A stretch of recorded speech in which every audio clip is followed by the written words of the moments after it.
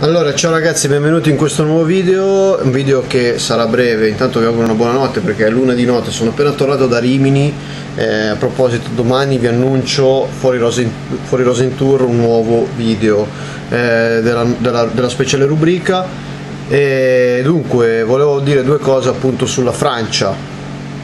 che è la prima finalista, batte il Belgio in maniera molto cinica, il Belgio che nel secondo tempo, do, dopo lo 0-0 del primo tempo aveva iniziato molto bene il secondo, ma alla prima occasione Huntiti la mette dentro e il Belgio ci prova tantissime volte, l'inserimento di Mertens aiuta a creare più cross, ma alla fine decide quel gol di Antiti e dunque la, la, la Francia è in finale del mondiale per la terza volta della sua storia, dopo il 98 che ha vinto, dopo il 2006 che ha perso adesso vedremo come finirà questo mondiale nel 2018 sono contento soprattutto per Blaise Matuidi perché se lo merita, è un ragazzo eccezionale. E adesso vediamo cosa succederà domani tra Croazia e Inghilterra sperando che vinca la Croazia in modo da avere almeno un giocatore della Juve campione del mondo.